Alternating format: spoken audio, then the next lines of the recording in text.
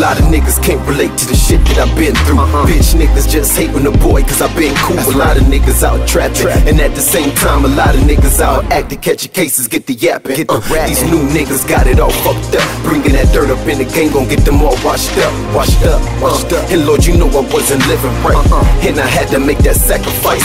Niggas don't understand what I'm going what through. I'm going niggas through. can't walk a mile in my fucking in my fuck. Just know that karma is a motherfucker. Uh. I never said I was perfect, I pay my dues, so I'm grinding like a motherfucker. Yeah. I can only be honest. I can only tell the truth and speak my mind and feed you knowledge. But niggas ain't feeling it. That's right. So fuck everybody trying to judge, cause they ain't giving them dividends. Nigga, that's what it's about. about the money.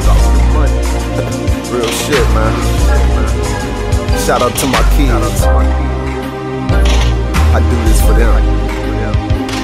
Loyalty Circle. Big Pudz. Let's go.